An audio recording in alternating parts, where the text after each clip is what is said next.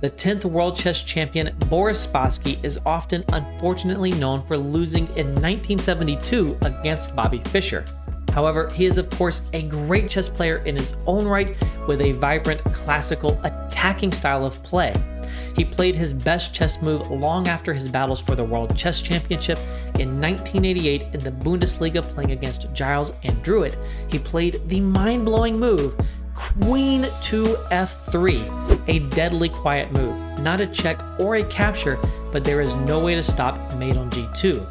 If the queen is captured, there is knight e takes f3 check, king h1, only legal move, and bishop to h3.